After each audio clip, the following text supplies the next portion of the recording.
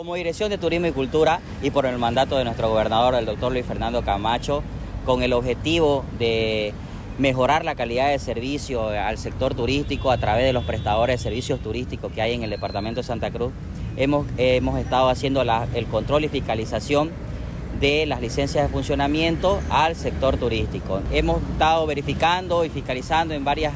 establecimientos peajes que hay algunos que ya están con la licencia vencida y no cuentan, se le ha dejado su correspondiente notificación para que se apersonen a nuestras oficinas. Invitamos a todos los prestadores de servicios turísticos para que se apersonen a las oficinas de la Dirección de Turismo y Cultura